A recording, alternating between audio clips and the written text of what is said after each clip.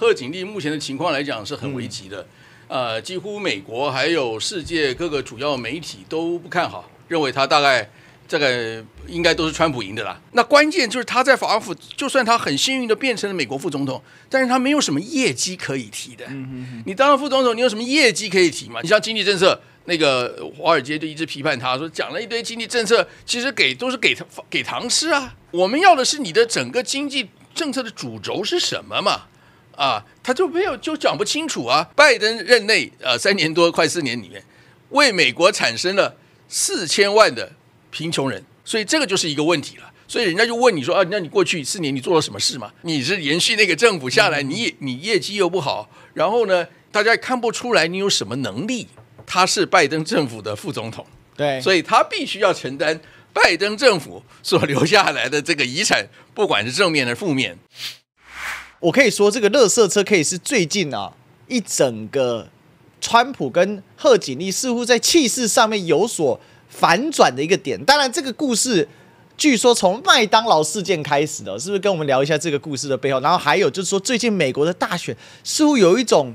这个川普气势在上涨哦，因为越来越多人。我刚才遇到黄介正老师，他也觉得这个川普最近气势不得了哈。我遇到左正东老师，他也跟我说，哎，左正老师刚你的同事啊，他也觉得最近川普气势相当好。所以我看了好多国关老师的，呃，大家都是这样的一个观察的点。我自己个人也很关注美选，我自己也觉得川普最近气势好的不了不得了。您怎么看呢？这个车卡这个乐色车事件呢，是不是一个很重要的一个点？确实的，这个川普来讲，就他的个性来讲是。非常的反应敏捷的，所以他只要看到对方有破绽的话，他立刻就出手啊！所以我们会看到那麦当劳事件也是这样子嘛，就是他讲说他有在麦当呃，这个贺锦丽讲说他有在麦当劳打过工，但是其实他他是读家里是很有钱的，在加州嘛，他到底有没有打这没人知没办法知道，但是川普就认为这是一个很好的切入点，来就到麦当劳去打工做给大家看，啊。啊，那同样的，在这个乐色车事件也是因为这个拜登一失失误讲出来以后，啊，说这个投川普票的人都乐色，那对川普来讲这太好的机会了，他干脆把那乐色车涂成川普，然后就到坐乐色车去去去这个竞竞选，所以这个来讲就是他他只要感觉到对方有这个有破绽一出现，他马上攻击，这是他的这个反应非常快速敏捷，然后呢取得优势，因为在选举其实最后这几天。真的是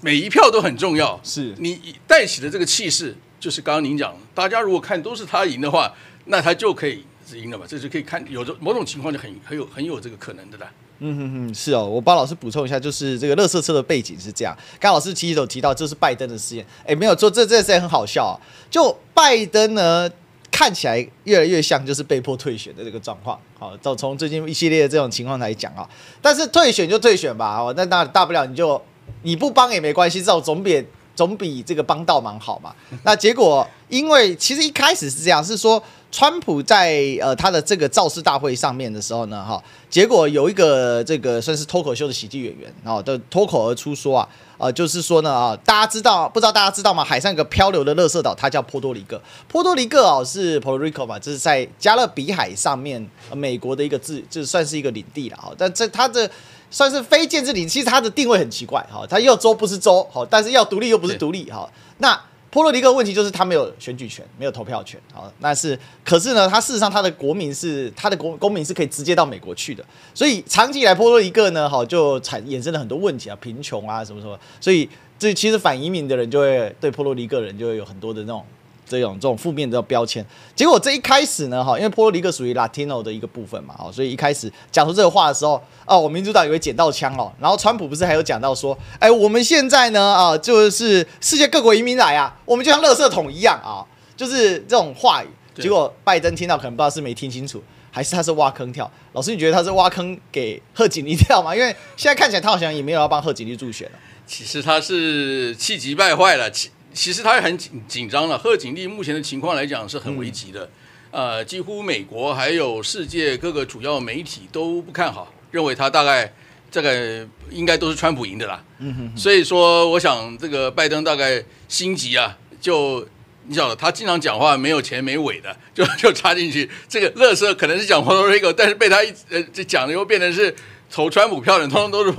Puerto。都是乐色，所以这个这个就是连这个贺锦丽都很尴尬的呃，还还是还是解释说他他这个他讲的不是这个意思啦，嗯他是说啊，他只是一个语调而已啊啊，所以这个就是这就是无论如何，就是选举来讲，实际上是大家不可能去呃摸清这个这个词的来原委怎么样，但是大家重要是一个气氛嘛，对，你这个把气氛弄起来了，呃，这个你晓得川普的选民本来就是很这个激进的，就是所以说你只要稍微煽动他一下，就更他有更激进的去积极的愿意去投票嘛，这是很关键的因素嘛。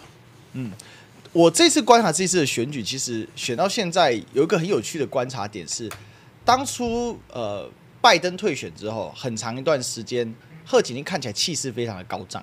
那川普看起来呢有点低迷，但一时之间，他原本攻击拜登的招式对贺锦丽通通好像打自己一样，因为他最喜欢笑拜登就是又老又笨。哦，Sleepy Joe 嘛，哦，打瞌睡、瞌睡巧嘛之类，呃，这个呃，这 Cracky Joe 就是反正就是羞辱他。可是羞辱这一招，一个成年年老的男性男性哦，羞辱一个相对年轻女性，当然贺锦丽也六十了哈、哦，这个这我说这个是相对嘛，因为川普八十了嘛，那这个将近八十，那这个失效。再来呢，男性跟女性之间的这种性别的攻击啊，也一定程度失效。结果，哎，结果没想到时间一过，现在川普反而调整的非常的快，反而是贺锦丽让我们感觉到是说，他似乎不太习惯在这种开放式这种攻防的节奏里面。呃，老师应该还记得，就是在辩论会上面的时候，看起来哦，其实大家认为那一场辩论会，川普对拜登，拜登是被被惨电，好，那也造成很多人认为那是造成拜登会退选的重要因素。可是川普对贺锦丽，很多人认为是川普表现的不好。好，这很有意思。可是这又过了一段时间之后，又翻转回来。当天当然中间又爆发了这个，比如说枪击事件等等的一大堆这种有的没有的事情哦。当然枪击事件也有很大的帮助。那你觉得选到现在，我有观察这个趋势是说，贺锦丽一开始的优势在于她身上所我们现在的人家戏称叫 buff 嘛，叫 tag，她身上的标签很好用，就是所谓的呃颜色政治或者说是标签政治，一开始很好用。对，然后女性女性，对，然后接近 L，他对 LGBT 团体他是非常大力的支持在加州。那这个是会不会这次选举选到现在，美国选民慢慢的摆脱之前很长一段时间受到所谓身份政治这样的影响？这是不是会不会可以成为说美国选举史上一个很重要的一个转折点，就是身份政治的一个效应，逐步在这一次的选举当中有一点失效的状况？关键是还是两位候选人个人的特质是关键的。嗯，那贺锦丽确实是刚上台，给大家一个清新的感觉，她也表现的这个辩论，如您所说，也是表现的大家都觉得还不错的。嗯，但是啊啊，久了，她接受后来又接受几次的这个这个 interview 啊，然后公开讲一些话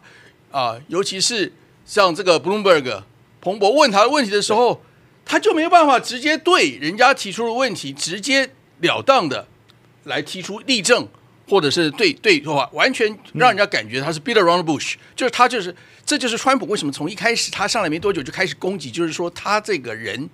长期以来只有在加州，嗯啊，代表的是最美国最自由派的思想。对，那问题是说，美国有五十州啊，不是你只有加州啊，所以你只有在加加州待过，你不知道整个美国人的这个呃特性、民族性、文化的真正的是怎么样。那后来他就直接去了这个参呃参议院，就到了这个华华府嘛，啊，那关键就是他在华府，就算他很幸运的变成了美国副总统，但是他没有什么业绩可以提的。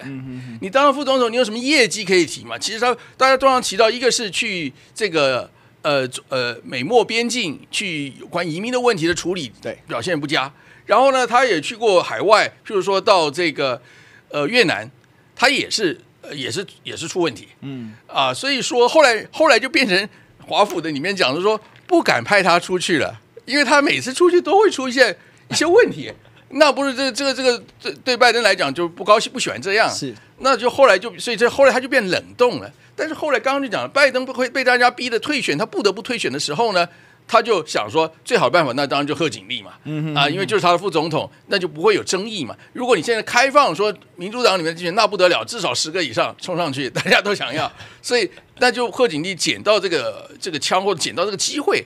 那但是问题是说捡到机会，让你上去的时候，人家要问你的问题，说问你经济问题或干嘛问题，你要有一个非常美国人的文化是。像我们这边有时候大家讲啊，这个这或者日本文化都是暧昧一点，或者不要讲那么清楚啊，不要得罪别人呐、美国人不是这样的，美国人话非常在意的是，我讲什么你就要对那个问题要回答，啊，直截了当啊，不用不用什么装或者怎么样。啊，所以这样子的话，他就变成出现一个问题，他老是不能够把人家问的问题解释的非常清楚，让人家知道他懂这个问题。啊。你像经济政策，那个华尔街就一直批判他说，讲了一堆经济政策，其实给都是给给糖吃啊啊，你你没有你，我们要的是你的整个经济政策的主轴是什么嘛？啊，他就没有就讲不清楚啊啊！当然是我们观察看是说哦，他非常重视这个呃 blue collar 的这些工人的他们的权益啦，对，那是没错了。然后这个这个对呃这个年轻人或者是弱势团体提供这个房贷啊啊等等一些这些好的这个是没错，但是关键呢他也还有一个一个问题就是他不不得不是不不不不能没办法躲的就是他是拜登政府的副总统。对，所以他必须要承担拜登政府所留下来的这个遗产，不管是正面还是负面。嗯嗯。那我我看这个日本经济新闻分析的非常棒，他写了一篇就讲说，拜登任内呃三年多快四年里面，为美国产生了四千万的贫穷人，哦，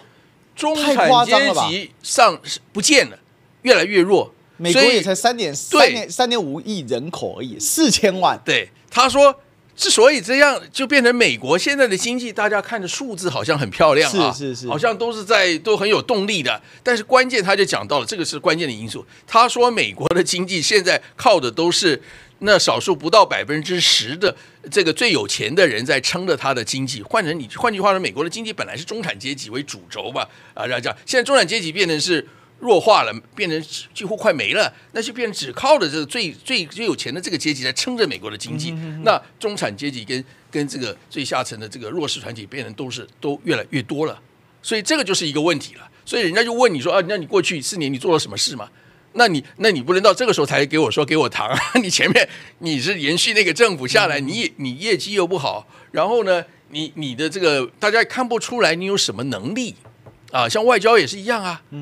他根本就没有没有很明确的外交经验。对，那那川普这个厉害，就是他还毕竟有霸气，他毕竟很多事情讲的就是虽然是有点强辩的，对但是他有那个气势，让你感觉是是一个世界呃 最强国的领导，这个是美国人也要希望见到的。你代表了美国，你出去要有就有美国人那个霸气啊，不能这个诶这个有点这个好像是犹豫不决，有呃这个油腔滑调，转来转去，这个这个这个是美国人不希望见到的。姐妹们总烦恼脸上细纹干燥与暗沉，现在起跟我一起放心交给 KS Royal Face 皇家颜值逆时奇迹系列。KS Royal Face 皇家颜值逆时奇迹系列，它添加五种 EGF，专门防止肌肤老化，强化皮肤修复，增加肌肤弹性水嫩，轻松抚平皱纹，换回青春自信。KS Royal Face 皇家颜值逆时奇迹，护肤露、全效精华、精华霜，即刻启动冻龄密码。